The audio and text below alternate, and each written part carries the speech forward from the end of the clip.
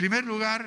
decirles que me siento muy complacido de estar aquí en Lambayeque, una región que tiene una historia hermosa, una historia brillante, una historia que nos ayuda a mantener nuestra identidad con restos arqueológicos y los museos de Suipán, Guagarrajada, Tucumé, Bruning,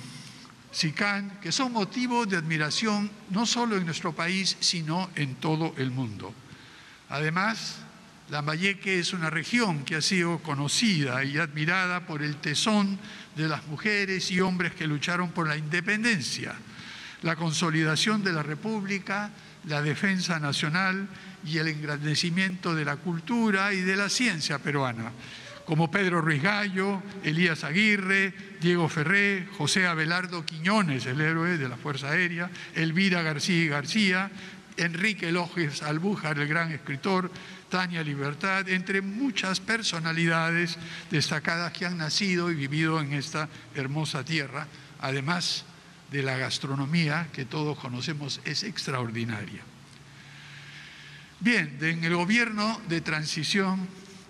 y emergencia, sabemos que tenemos una cantidad de problemas en nuestro país que tenemos que solucionar lo más rápidamente posible. Estamos en un periodo electoral, un periodo de tensión, como todos lo sabemos. Sin embargo, y no obstante, seguimos trabajando para no solo detener la pandemia, luchar contra ella, sino hacer una serie de obras y trabajos que les pasaré a contar muy brevemente más adelante. En términos de vacunas, por ejemplo, la tarea ha sido, primero, negociar, comprar, distribuir y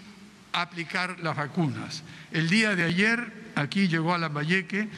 eh, hemos traído en total de 66.690 dosis que alcanzarán para continuar con el proceso de vacunación de adultos mayores, también a las embarazadas y también a las personas con comorbilidad.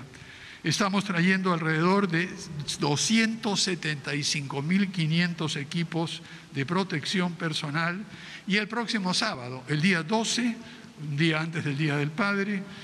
eh, no, perdón, el 12 de junio pasado se enviaron 212 concentradores de oxígeno que ya están en proceso de ser distribuidos a varios locales. Hoy estamos trayendo 70.000 mascarillas, estamos trayendo más de 50.000 equipos de protección personal, además de dosis de atromicina, un medicamento que se utiliza en el tratamiento de los hospitalizados por COVID-19. Quisiera, por favor, hacer un llamado a toda la población de La Valleque para que ayuden a sus padres, madres, abuelos que tienen enfermedades especiales que, según las indicaciones del Ministerio de Salud, acudan a los centros de vacunación que se han dispuesto en toda la región.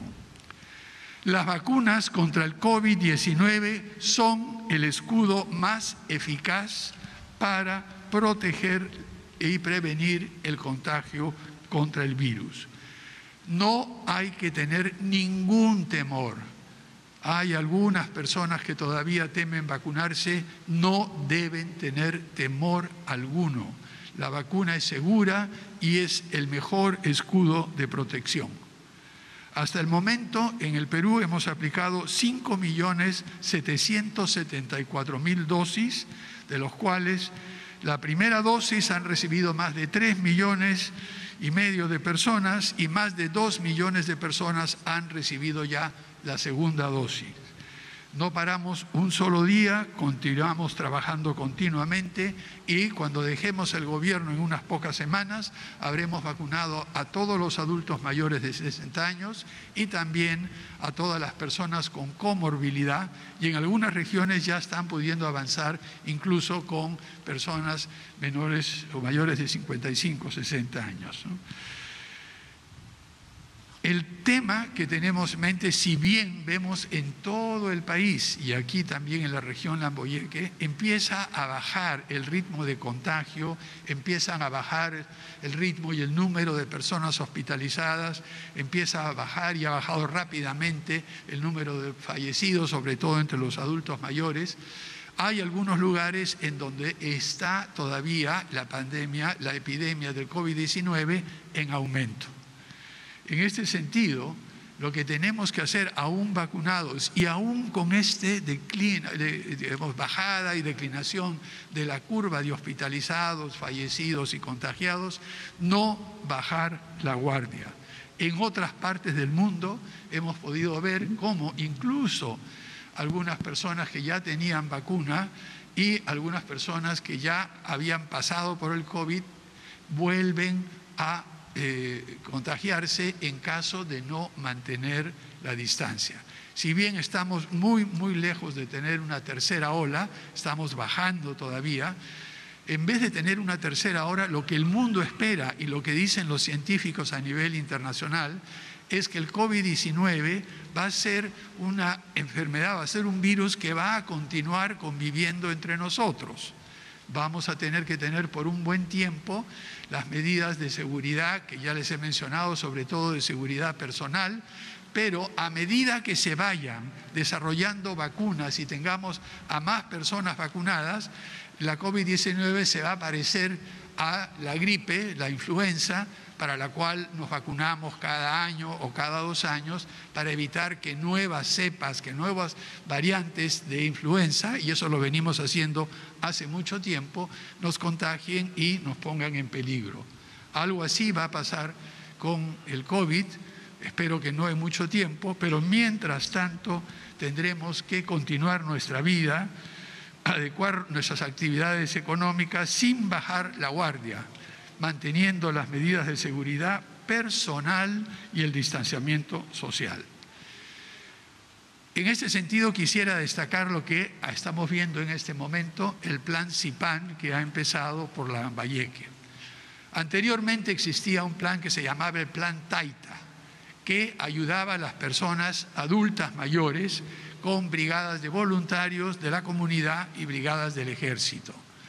Eso funcionó durante un buen tiempo, pero recuerden, ya tenemos a los adultos mayores en gran medida vacunados y seguirán vacunándose. Entonces lo que se ha hecho es readecuar y reconceptualizar este tipo de plan y crear un nuevo plan, el plan CIPAN, en el cual lo que se hace ahora ya no solamente con adultos mayores, sino en una zona, en un barrio como este, eh, ir con brigadas de voluntarios como los que tenemos allí, que son los promotores, con el apoyo del ejército y también con lo que se llama la brigada amarilla, que son los que ayudan a desinfectar y fumigar, con la brigada verde que mantiene la limpieza y con la brigada azul que da cuidado médico, no solamente desde el punto de vista físico, sino también desde el punto de vista emocional y mental. Esta eh, operación del Plan CIPAN se está realizando en Pueblo Nuevo, Ferreñafe, La Victoria aquí, José Ortiz y José Leonardo Ortiz en Chiclayo y Morrope. Con los gobiernos locales que han contribuido enormemente. Esta es una tarea conjunta, como es el estilo de trabajar del gobierno de transición y emergencia. Es el Estado, en este caso el Ministerio de Salud y las brigadas de salud, es el Estado a través de la Fuerza Armada, es el Estado a través de los gobiernos locales, son los voluntarios, son las empresas privadas que en conjunto han permitido organizar el plan CIPAN y llevarlo a cabo y realmente hacer una tarea pionera de ir detectando a los contagiados y protegiendo a la ciudadanía. Todo esto nos permitirá tener un diagnóstico más completo y certero de cómo está avanzando la pandemia en diferentes lugares para poder detenerla a tiempo y aplicar las medidas que sean necesarias. Em, ya hemos visitado también el local de vacunación de los adultos mayores y madres gestantes. Lo acabo de hacer minutos antes de venir aquí y hemos visto cómo está avanzando ya el proceso de vacunación. También quiero informarles que durante esta visita, gracias a la labor del Ministerio de Vivienda, Construcción y Saneamiento, haremos entrega de 748 títulos de propiedad para familias y para instituciones públicas en las provincias de Lambayeque, Ferreñafe y Chiclayo. Entre estas instituciones públicas están los establecimientos de salud y colegio y también proyectos urbanos de la provincia de Chiclayo y Lambayeque. Quisiera indicar también que no solamente se trabaja en estos frentes, por supuesto, además lo que les he dicho ya sobre la pandemia, se sigue trabajando en titulación, se siguen haciendo otras actividades y entre ellas tenemos los cinco colegios y el puente que está inaugurándose gracias a la labor de la Autoridad de Reconstrucción con Cambios, que dicho sea de paso, durante este año ha canalizado mil millones de soles a la región Lambayeque. Y como hacemos generalmente y normalmente en todas nuestras visitas, terminaremos con una reunión de trabajo con el gobernador regional de Lambayeque y los alcaldes provinciales al fin de coordinar las acciones más urgentes que necesite la región. Haremos lo que se puede hacer durante las pocas semanas que nos quedan, pero dejaremos encaminado para que el próximo gobierno, que empezará el 28 de julio, pueda continuar con las acciones necesarias y que surgen de la propia región en la reunión que tendremos en unos momentos. Lo que quisiera, no quisiera terminar, ya que empecé diciendo que estamos en un contexto bastante crispado, un contexto bastante inquieto en cuanto a la situación de la segunda vuelta que debe completarse y terminar muy pronto. Eh, hemos difundido el día eh, de ayer y anteayer un comunicado que el Consejo de Estado refirió, el Consejo de Estado son todas las autoridades de los distintos poderes estatales, Poder Judicial, Defensoría del Pueblo, en fin, todas las autoridades, incluyendo al Contralor, incluyendo a la Fiscalía de la Nación, a la Junta Nacional de Justicia, a la Presidenta del Consejo de Ministros y a mí como jefe de Estado. Hemos lanzado un comunicado por el cual eh, expresamos la necesidad de respetar a todas las instituciones del Estado, incluso a través del legítimo derecho a la crítica y la discrepancia, pero siempre respetando la verdad y sin distorsionar los hechos. Los invoco, los insto a evitar y condenar todo tipo de discurso que inciten al odio entre peruanos, que inciten al conflicto violento, que no nos ayuda en nada y que dificulta nuestro desarrollo.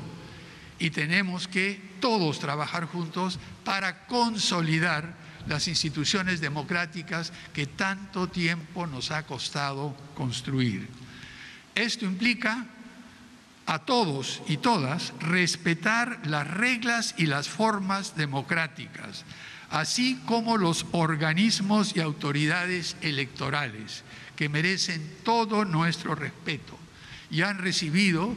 el apoyo y la mirada muy, muy cercana, eh, mirando de cerca lo que se hacía, de los observadores internacionales electorales que han supervisado y han analizado la labor de nuestras organizaciones y las consideran que han sido limpias, tranquilas, con calma, aún en una situación de la pandemia. Esperemos con tranquilidad los resultados finales, respetémoslos de manera democrática, conforme al pacto ético electoral que todos los candidatos firmaron al iniciarse este proceso. Y los invoco a mantenernos unidos. Sé que hay puntos de vista muy discrepantes y muy distintos en nuestra población. Pero pasado el proceso electoral, todos los ciudadanos y ciudadanas tenemos el imperativo, la obligación, la necesidad de unirnos y de trabajar juntos, el Estado, la sociedad civil, el sector privado, las organizaciones académicas, las organizaciones comunitarias y de base, de tal manera que unidos eh, saquemos adelante a nuestro país. Solo así, con unión, con paciencia, con tranquilidad, con serenidad, podremos superar esta difícil etapa política y fortalecer la democracia. Recordemos, hace 200 años, después de luchas muy, muy fuertes y muy largas, logramos la independencia. Es una responsabilidad de todos los ciudadanos y ciudadanas mantener estas instituciones democráticas, mantener la libertad, la tranquilidad y la paz que conquistamos hace 200 años. Este 28 de julio, en el bicentenario de la independencia, tenemos una nueva oportunidad de reafirmar nuestro compromiso con la patria. Por la parte del gobierno de transición y emergencia, hemos cumplido y estamos cumpliendo lo que prometimos. Siempre decimos que no prometemos lo que no podemos cumplir, pero sí cumplimos lo que comprometemos, lo que nos comprometemos. ¿Por qué? Porque el propósito central de este gobierno de transición y emergencia ha sido devolverle la confianza a ustedes,